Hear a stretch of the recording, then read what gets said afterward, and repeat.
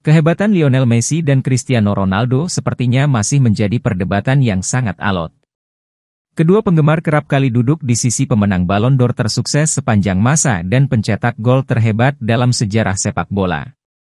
Tapi Trent Alexander-Arnold mencoba memiliki pandangan unik dalam memberikan pendapatnya. Alexander-Arnold diketahui pernah bertemu Messi maupun Ronaldo. Dari sini ia bisa menilai mana pemain yang layak disebut sebagai pemain terbaik sepanjang masa, Goat. Ditanya mengenai pemain yang layak mendapatkan stempel Goat, pemain Liverpool itu menjawab Messi. Dia menuturkan bahwa La Pulga merupakan pemain terbaik yang pernah dihadapi maupun pemain terbaik yang pernah bermain.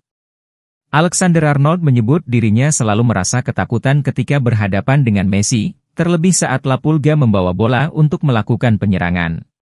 Saya tidak pernah menonton Maradona. Membayangkan seseorang lebih baik dari apa yang saya lihat dari Messi, otak saya tidak memahaminya.